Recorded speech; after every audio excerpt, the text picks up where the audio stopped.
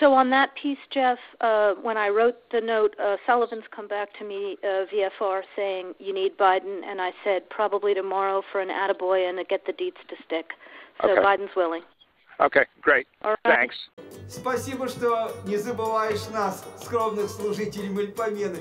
Ну, как говорится, до завтра. Вот, Егор Филиппович, интереснейшее творческое предложение. Думаю, всю трубу займу. Люблю масштабные проекты. Опять цыган изобразишь в старании. Господь с вами, Егор Филиппович. Тут задача на порядок интересней.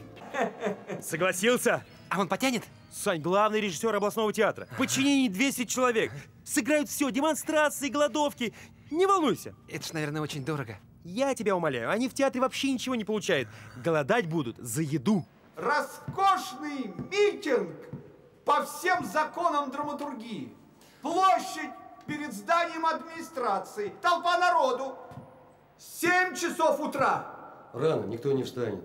7.15, то не позже. Народ безмолвствует. Одиночные выкрики. Люся. Пусть кричит Люся. Люся беременна? Гениально! Гениально!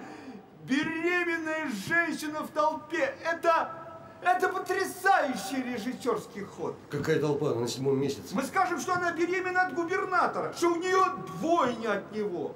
А детей где возьмем? Господь с вами, Егор Филиппович. А Чук и Гек, наши замечательные лилипуты. И, наконец, кульминация. Толпа врывается в здание администрации с нужными нам выкриками.